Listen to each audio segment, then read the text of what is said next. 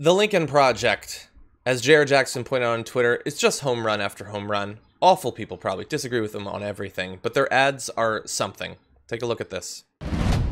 When Donald Trump came out of hiding this week, he didn't do it to bring us together or heal the nation. He wasn't there to offer words of calm and comfort. Instead, he became what we always feared, evoked the worst of our past, threatened our governors and states. He ordered our own soldiers who fought in Iraq and Afghanistan to flood the streets, instructing them to turn against Americans used churches and the Holy Bible as political props. He didn't invoke the Lord to give us wisdom, but to boost his polls. Ordered an attack on unarmed protesters using gas, rubber bullets, and flash grenades. Washington transformed into a war zone for this coward. This is a time for choosing America or Trump. Okay, Michael. So um, uh, we've talked about a few of their ads. Um, they're they're very talented at getting under the skin of the Republicans they target. And while obviously that's a sort of general argument against Donald Trump and where he's led America, it also is honing in on a few of the things that we know has really angered him recently. The coverage of the fact that he was, you know, in the bunker. They call him a coward. They talk about him coming out of hiding. It seems very well suited to anger him at the very least. Yeah, not to mention the, the the subtlety of calling themselves the Lincoln Project, taking Lincoln away from the Republicans um, uh, who try and use it, including the president. Uh, the party of Lincoln, Mike Pence always refers to the party of Lincoln, uh, and now the Lincoln Project is saying, guess what? Uh, Abe is not, or Donald's not Abe. Uh, I, I, you know, this is a, an effective set of ads, and and it'll have a cumulative effect of some kind because so many Republicans are behind it and are seeing it, and that with uh, also the the sort of the what they hope to be a bipartisan group of former presidents lined up around ads like this is going to be a, an important part of the optics of 2020. Yeah, um, and by the way, I can see from the comments that uh, most of the people watching this think again it was a very effective ad. Um, yeah, I, I, there's there's this group. There's also um, is it Republican voters against Trump or something like that? They had an ad. It was like a, uh, a American Massacre or something like that a day or two ago.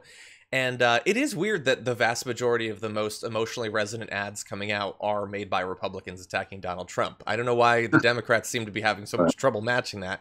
Joe Biden has had some good ads. There's, from my point of view, needless fear mongering about China uh, in there. He sees he, he seems to think he needs to to appeal to people who feel like we're being too soft on China. So him and Trump are now sort of competing on that. I don't like that necessarily. Um, but effective ad. What I'm curious about is uh, I've been looking at recent polling. I know that you're familiar with it. We've seen that in the public polls um, over the past few months, uh, the the gap, at least right now, between Biden and him has been growing up to eight or ten points, eleven points in one poll that I saw. So that's the public polling. In response to that, Trump said that he has polls that show him winning, but apparently he doesn't because, according to reporting in private polling conducted by his campaign, the president is well behind Mr. Biden. Those are in his, actually. Internal polling always favors the internal poller, right? Mm-hmm. So every candidate from every office who has enough money to poll and do their internal polling will always give you numbers that are better than the ones that come out in the public polls. It helps the campaign, it helps the candidate.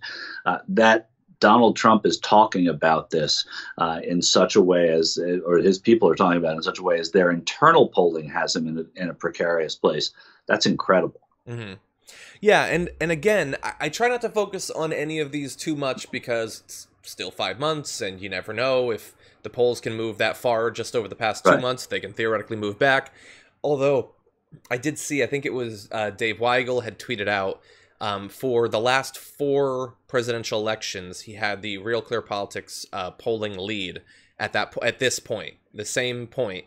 And um, for 2008, 2012, 2016, it was right around 1.5 points for the Democrat, and I think Biden was up by 8.1 points.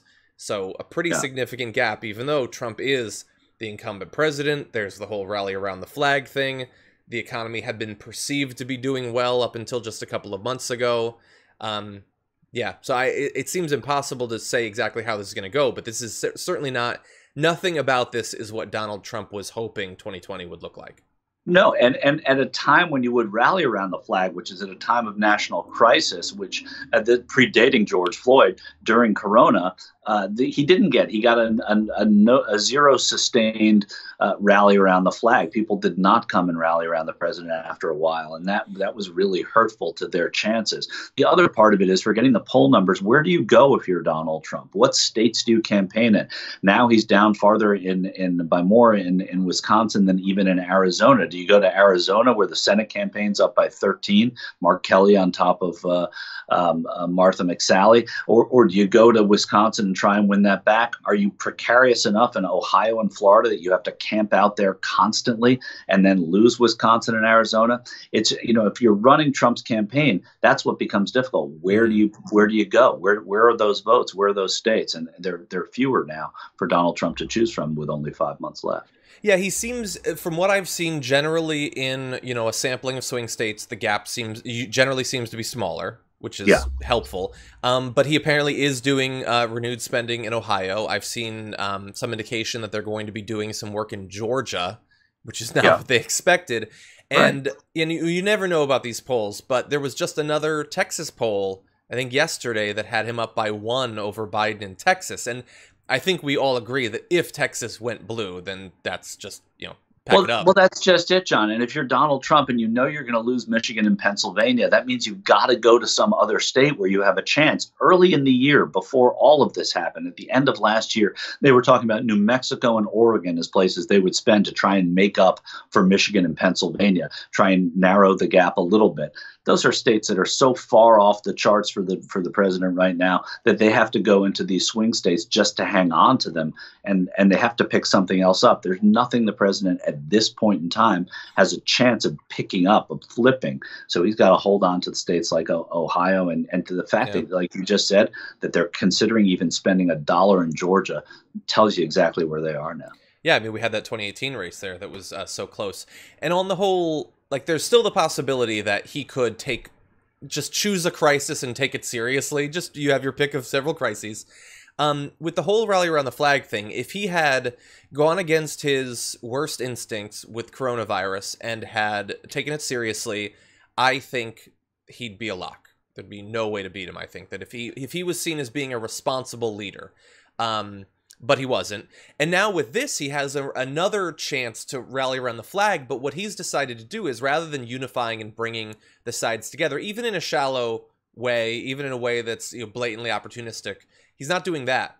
He's right. just deploying the military, which means that if like you might feel as a regular American, like, well, aren't I supposed to support the military or the cops? But look at what you are being forced to sign on to to do that now you're going to have video coming out every day or two of beatings and tear gassing and all of that. You're going to have to be okay with that to rally around the flag this time. And and you know, back in the 60s, 70s, easy. A lot of white Americans were perfectly happy to do that. I'm sure many white conservatives are still fine to do that, but is that an electoral majority? I yeah. I hope not, at the very least. Yeah, I, I, hope not too. And it's you know it's all hypothetical, and and so too is your theory that if he had handled this properly, uh, the point is he doesn't handle Corona properly, and he doesn't handle any crisis uh, mm-hmm. in a presidential manner. Had he done so, I don't think he would have been a lock. I just think it would have been closer in swing states. I I, I think yeah. before knew about Corona, I didn't think he was a lock at all. Um, so I, I think all of it combined with a bad economy makes it a very difficult place for a president to run. Yeah.